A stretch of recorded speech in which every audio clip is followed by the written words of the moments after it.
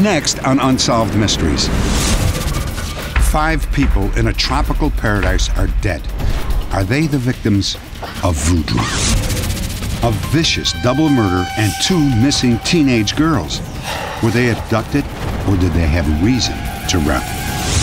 And a con man with a twisted sense of humor taunts police with a series of practical jokes. He calls himself Pat Brown he was found by the side of a road, dazed and disoriented, a victim of total amnesia. Five cases, some without endings. Our team is working on them, and perhaps you can help. I'm Dennis Farina, and this is Unsolved Mysteries.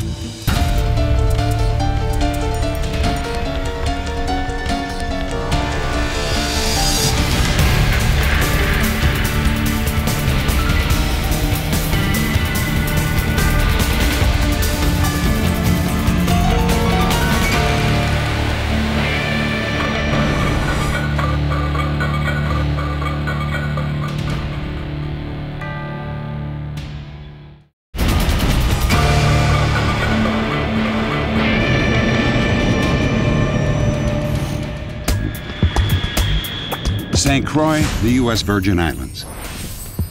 This popular vacation spot is paradise to more than one and a half million visitors from the United States each year. But even paradise can have a dark side.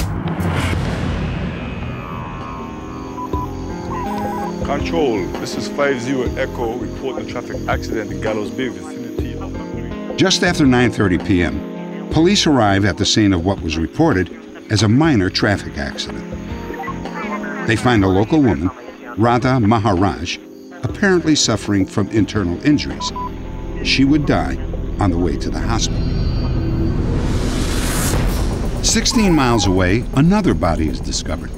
The dead man is Krishnadoth Maharaj, Radha's husband. The clothing of both victims is saturated with seawater.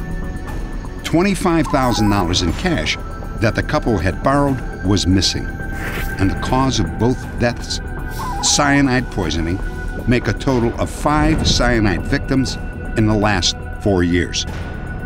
Authorities suspect that all of the deaths are linked to voodoo. Contrary to popular belief, there is nothing inherently sinister about voodoo. It is a blend of Roman Catholicism and African tradition, practiced mainly in Haiti and Louisiana. Curses, hexes, effigy dolls, and potions are more often a part of obeah, an underground form of sorcery that is not connected to voodoo. Police in St. Croix now believe that the five cyanide poisonings were the work of a master con. He practices obeah, but pretends to use voodoo. He lures his victims into a vicious web of deceit and murder. Radha and Krishnadoth were both born in the Caribbean. Their parents came from India. The couple ran a small grocery store. Radha's two daughters from her first marriage helped with the business. We were paying our bills and we didn't have food to eat. We were all well, we were strong and healthy, and we were all working hard, especially my mother. See you soon. Several months before they died, they took out a loan to expand their store.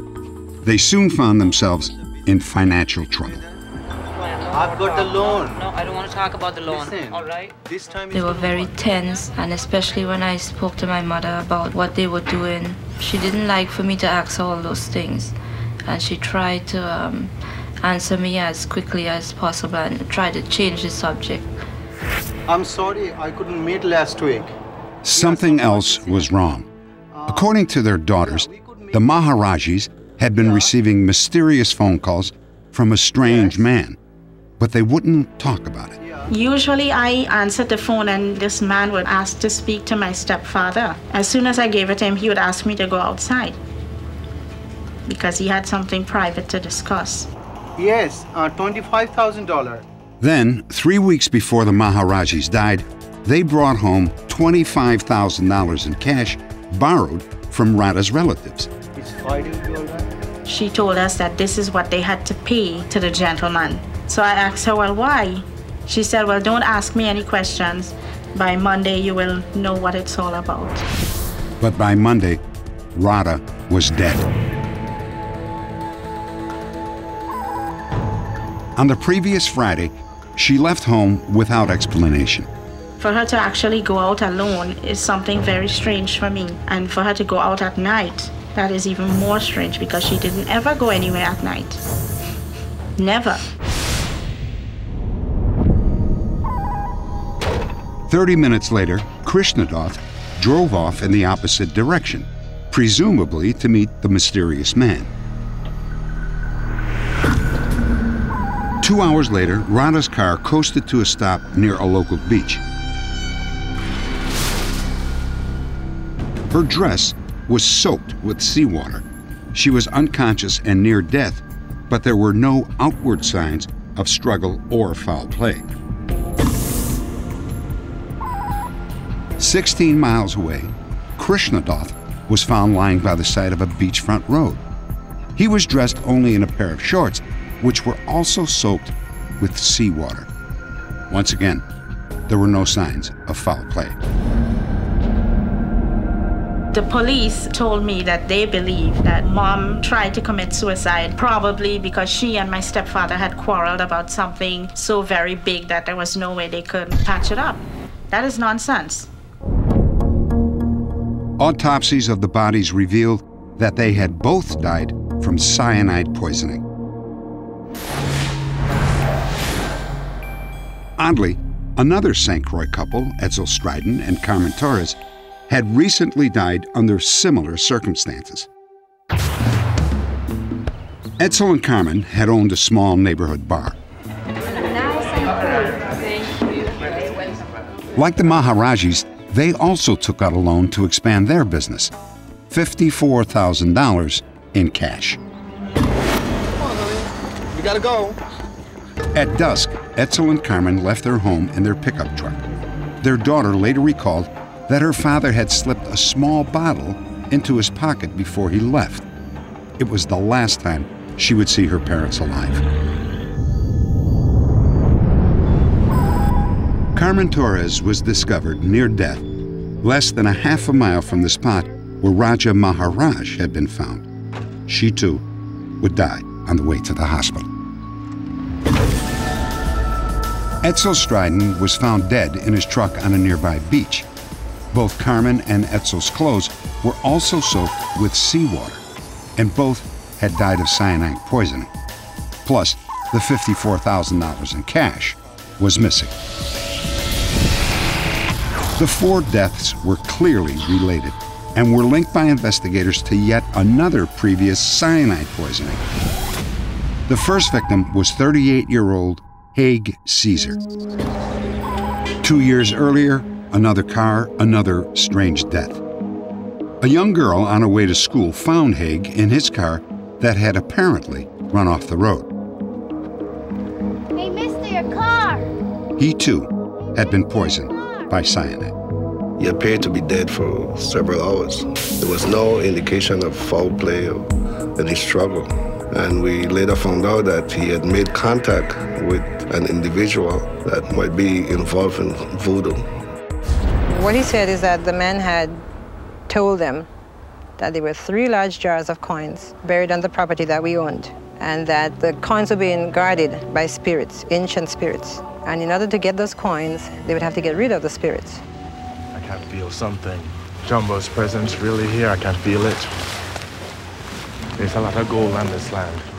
Before his death, Haig apparently paid $100,000 in cash to an Obeah man who claimed that he could remove the evil spirits. All right, don't worry about that. I'll come up with the money. When I found out about all the money he was borrowing and all the cash that he had taken out of our accounts and everything without even letting me know, I really was very angry about it. Um, and shocked, overall just shocked that he would have taken it so far. On the night he died, police believe Haig returned to the spot where the Obeah man had said a treasure of priceless coins was buried. The Obeah man scam called for him to drink a potion, that would drive away the spirits guarding the coins. That potion turned out to be cyanide.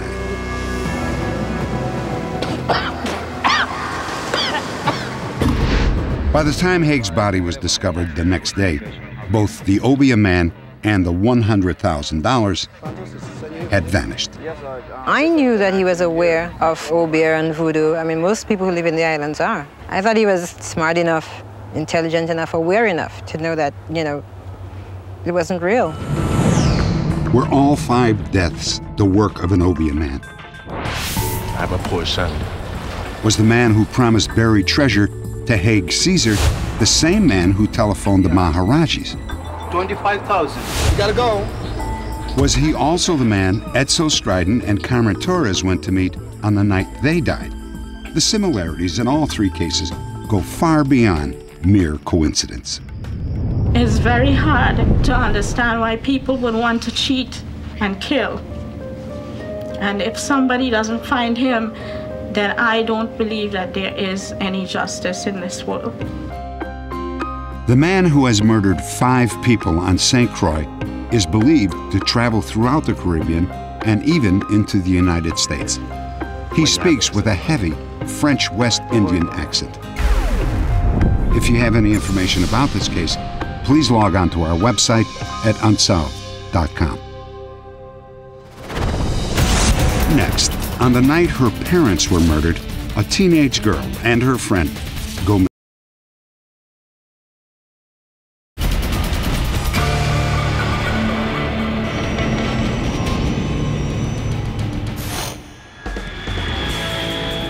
go Vinita, Oklahoma, a small rural town in Craig County.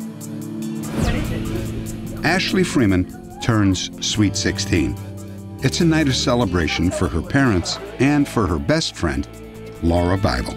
Laura, she said to me, Daddy, is it all right if I spend the night with Ashley to the Freeman's home? I said, well, just make sure you're home by noon tomorrow. And uh, noon tomorrow didn't happen the way it should have.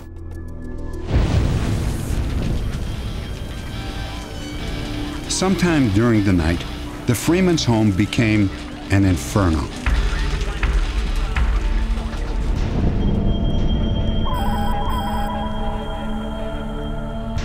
By the time Laura's parents arrive, the fire is out, but Ashley Freeman's home has been reduced to ashes. There's your car. Laura's car is still there, but there is no sign of their daughter. Jay and Lorene Bible fear the worst.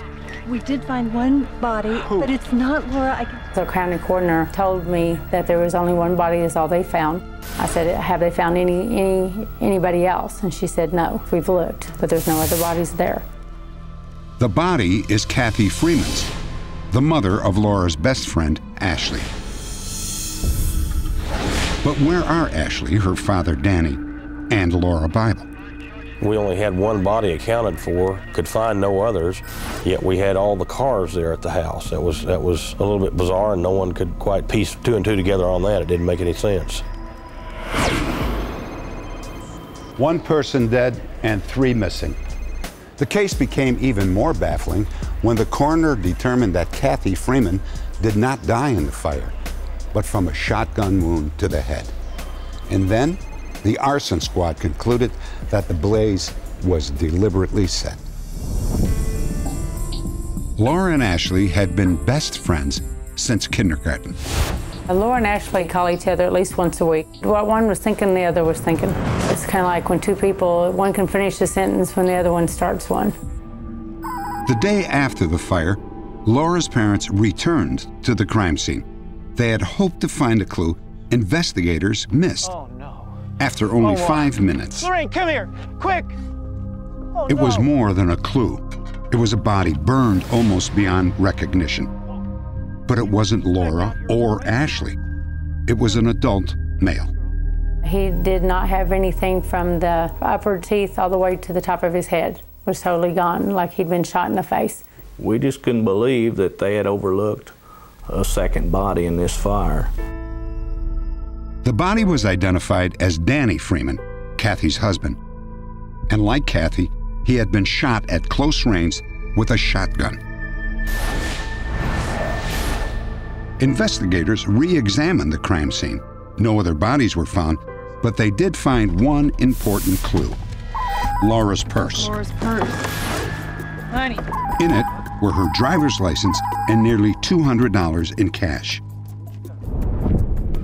Why would Laura leave her purse unless she had been abducted? I feel that somebody had went in there for whatever reason, murdered Denny and Kathy, and took the girls. The Craig County Sheriff's Department tried to piece together what happened the night of Ashley's birthday. If it had been a robbery, the purse would have been taken. And if murder was the motive, who had reason to kill Danny and Kathy Freeman, Ashley's parents? Danny himself may have had the answer, which he revealed to his brother, Dwayne. Listen, Dwayne, if anything should ever happen to me, I want you to take a look at the sheriff's office. Sheriff, what? He put his finger in my face and he said, if anything ever happens to me, look at the sheriff's department. And he was serious, he was in my face to drive it home with me. For months, it had been rumored that the Craig County Sheriff's Department was feuding with the Freemans. It all began when Danny's son, Shane, was shot and killed by a deputy after he had stolen a truck and a neighbor's gun. Shane's killing was ruled justifiable, but the Freemans threatened to file a wrongful death lawsuit against the sheriff's department. Some say that the deputies started to intimidate the Freemans. Get out of the truck, Danny. What is this about? This is about you looking all over town for deputies. He was basically told, according to Danny, that they could do anything they wanted to to him and his family, and there wasn't a thing he could do about it. You're taking yourself out of the investigation. When Danny and Kathy Freeman were found dead, the Craig County Sheriff's Department voluntarily turned the case over to the Oklahoma State Bureau of Investigation. They also consented to polygraph tests. And all cleared themselves as a result of those examinations. The overall conclusion of our efforts was that the sheriff's office had nothing to do with the murders of Danny and Kathy and did not know the whereabouts of the two missing girls. Another possibility. According to an informant, Danny Freeman met with two unidentified men a couple of weeks before his murder. One was clearly unwelcome. What's he doing here? We just got some things we want to talk Some about. people said that Danny was a small time drug trafficker. I'm not dealing with you while he's here, so you can just take off. Danny. Could a drug deal gone bad have resulted in a double murder? If you wanted to consider that it was drug related and nothing fits correctly, the very last thing that the people who committed the murder would want to do would be abduct the children. There is another possibility, perhaps the most disturbing theory of all. Ashley Freeman murdered her own parents and then fled with Laura. There was a great deal of friction in the Freeman household. Danny and his daughter did not get along well at all and hadn't for some time. That's something we can't overlook. I find it difficult to believe that the girls by themselves could hide out that long and not be found. Jay and Lorene Bible were left with only unanswered questions. Where were Laura and Ashley, and why had they left? We have come to the conclusion that Laura is in the wrong place at the wrong time. I do feel that she's still alive, but whether she's alive or dead, I want to know. You know, we love her dearly and wish we could have her back. Wish we could have both the girls back because at this point I've taken and raised them both and never let them go. Update. There are new developments in this case. Here's one of our staff with details. Thanks to tips from witnesses, three suspects have been identified in the murders of Danny and Kathy Freeman and the kidnapping murders of Ashley Freeman and Laura Bible.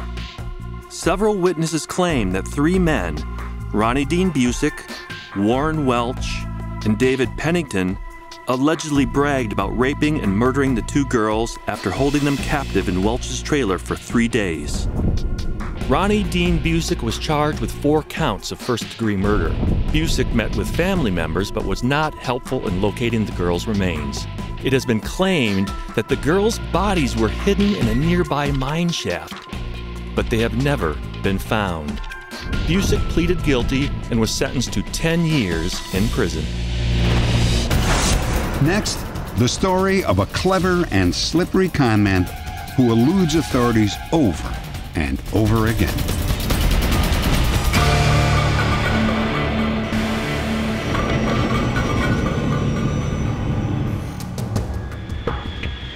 The Hawaiian island of Maui. A man arrives at a local bank and introduces himself as Pepito de Bayon. I've been named representative to my aunt's estate. And what I'd like to do is take the funds from her account and open up a new account. In addition to the $52,000 from her account, I'd like to deposit this check also. Do you have some identification? There was something about the smooth talking customer that made the bank manager suspicious. If you could come back in an hour, we'll be all ready for you to go when you come back. Okay. Great. I guess I'll see you in around an hour. Yes. An hour later, the man returned as scheduled.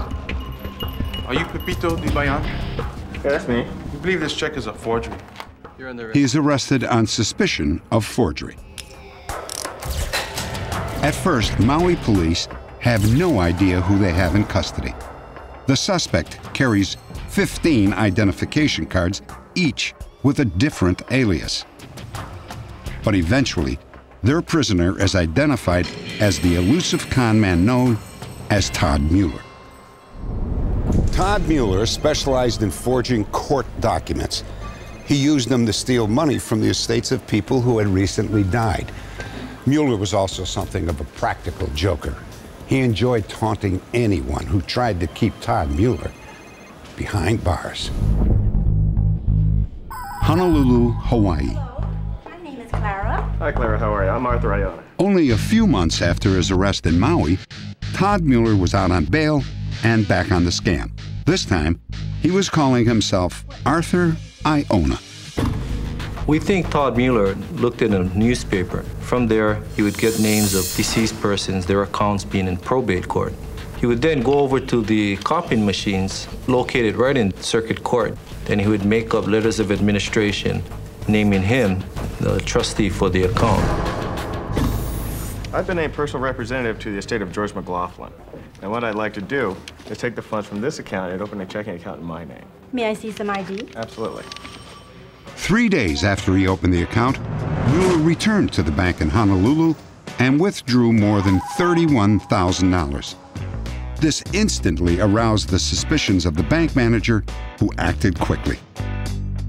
She called me to tell me that she thought these probate documents were false. She described the individual to me. I immediately thought Todd Mueller.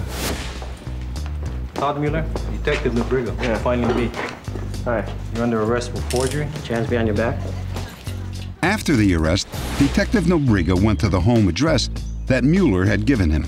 Once he was sure that Mueller lived there, Nobriga left to get a search warrant.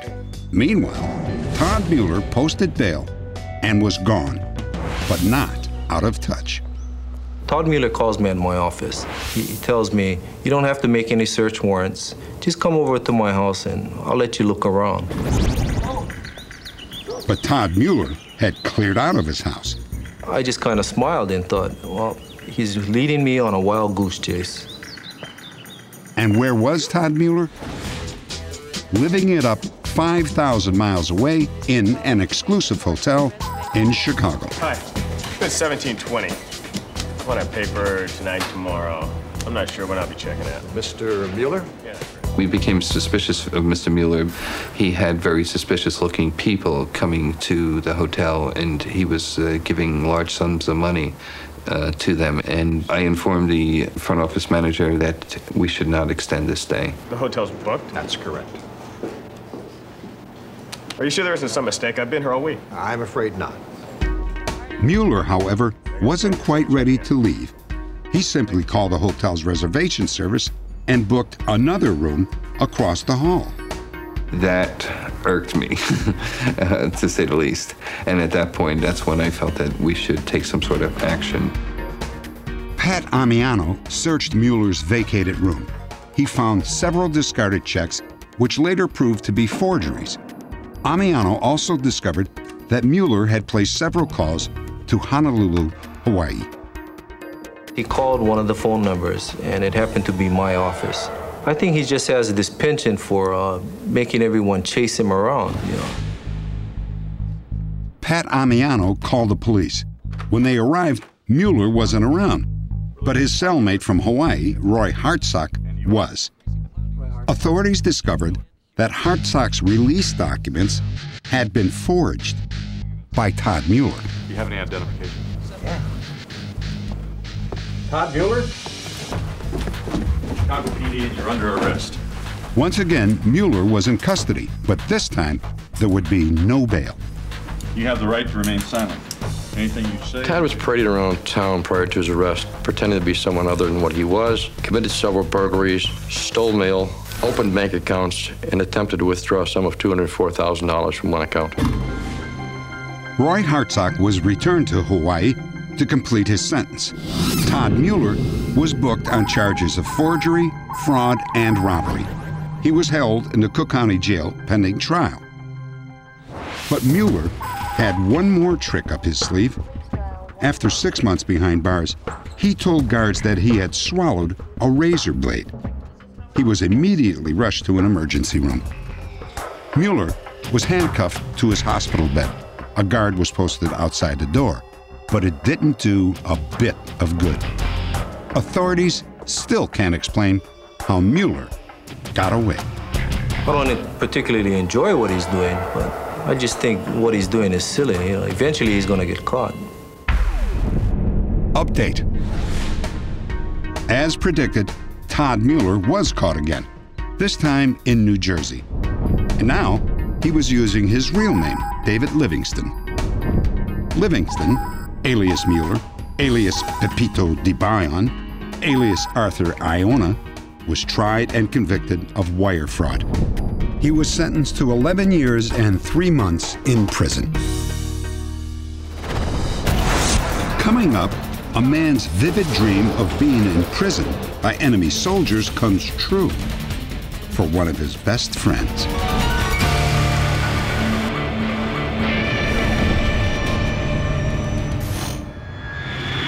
On a previous broadcast, we featured a murder in Athens, Georgia.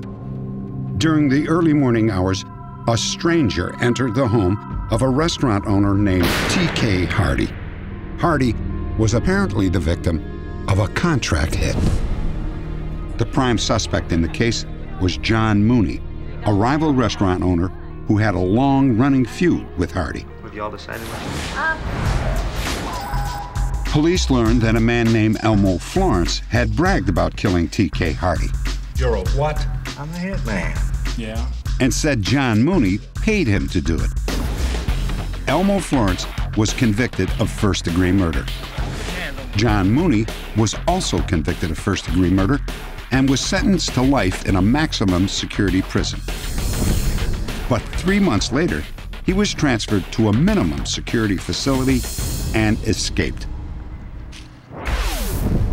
Update Scottsdale, Arizona. Within minutes of our broadcast, two viewers called us to report that John Mooney was living in this house under the assumed name Robert J. Kelly. John Mooney, alias Robert Kelly, was arrested at his home by the Mesa police. He had been working as an accountant for several companies in the Scottsdale area. Over nine years after he escaped, John Mooney was returned to Georgia. He served his time and has been released.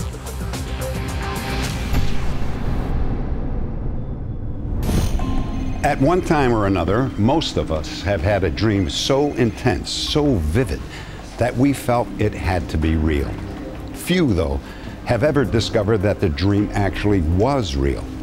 Even fewer have had the spine tingling experience the man you're about to meet. Kuwait, the Middle East.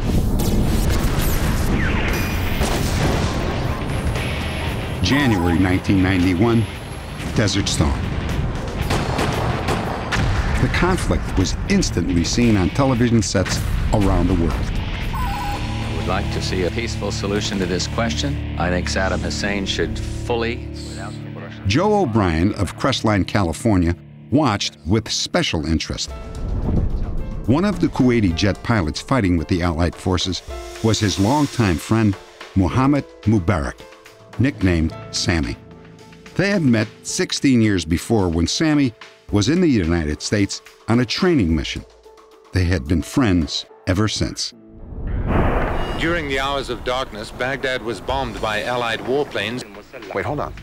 Joe had no doubt that Sammy would be in the middle of the fighting. I'm gonna have to call you back. But he was stunned to see his friend's face right there on television.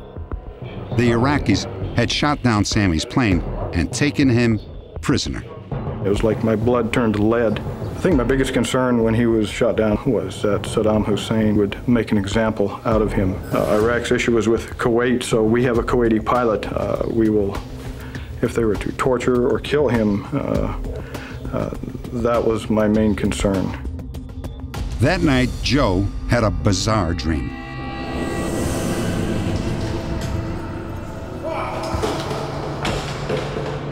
In my dream, I was very much aware that I was Sammy. I was in his cell, and I was seeing things through his eyes. And it was a fairly small cell with a high ceiling. The floor was very cold. I noticed the color was almost like a dark, flat porcelain. Uh, it had on a maroon, uh, took on a maroon or a purplish color when the light was on. I remember being very uncomfortable. But the pain I had in my hands almost overrode everything else about my captivity. It was so painful. My hands were on fire. In his dream, Joe had a powerful feeling about what seemed to be an ordinary striped blanket. I was very happy to have it, I remember studying the material and the design. And it was shortly after that when I woke up in a cold sweat. I've never had a dream like that, and I've never woken up like that before. And I, I immediately got out of bed. It was about six o'clock, and I went right into the bathroom to run some water on my wrists, which were very, very sore. That morning, Joe met a friend, John Goff, for breakfast. Hey, Joe, how's it going? Hey, how are you? All right. Big night. Yeah, I'm sure. When he showed up, I noticed that his hands were kind of red. And he had a tough time picking his coffee cup up. And he says, the, the darndest thing happened to me last night. I, I had this strange dream, and in the process of my dream, um, my hands started hurting. And so then he told me about the dream. Your friend is a Kuwaiti pilot? Yeah. Yeah, I dreamed I was him in his cell. Joe O'Brien is not a person to just fabricate stories. And when he told me about this story, I really did think that there, it was something really unusual. He explained in detail about a prisoner of war, and the pain of his hands didn't go away for five days. You know someone's captive, you're going to picture a cell. But why the pain, and why in my wrists? Uh, you know, I, I've. I used to be a mason. I have strong hands. I've never had problems with my hands, and here I can't even hold a coffee cup. 42 days after the war began, Iraq surrendered. Saddam Hussein agreed to a ceasefire and an exchange of prisoners. Joe again saw Sammy's face on television. When I saw Sammy actually being released, I couldn't believe it. I was just so happy. I called him that night. He was in the hospital and, and had a wonderful conversation with him and was very happy. It was a, it was a, a good day. Sammy. Joseph, my friend, how are you? The following Christmas, they celebrated. Sammy and his sister visited Joe in California for a reunion. That night, Joe told Sammy about his dream. I dreamed that I was you in a cell. It was a dark, black, and burgundy tile with this little window way up high. Sammy was stunned. Joe's words took him back, back to the horror of captivity. When the Iraqis were taking Sammy to a POW camp, he had been handcuffed so tightly that his wrists were cut and bleeding. The pain, I hardly can move my wrists around. I had the handcuffs for five long days, you know, very tight and really hurting my wrist badly. I had this beige and green striped cloth, which was really important to me. The detail was astonishing. Joe was describing Sammy's blanket, the only comfort he had. It was very cold, so I usually just have the blanket around me because it was keeping me warm. Describe my cell exactly. Joe and Sammy compared notes for hours. Even the cloth, that was my. I was totally amazed, surprised. His dream matched the cell and the reality uh, almost, let me say, 100%, you know, 100%. The feeling, the description, the colors, how I felt, uh, everything. Maybe Joe's dream was just an eerie coincidence. Or maybe some dreams are real in ways that we don't understand. Or perhaps Joe's dream is proof that friendship transcends the limits of time, distance, or dimension. For more than three years, he was a man without a past, caught in the unforgiving grip of amnesia. Would he ever find his true identity?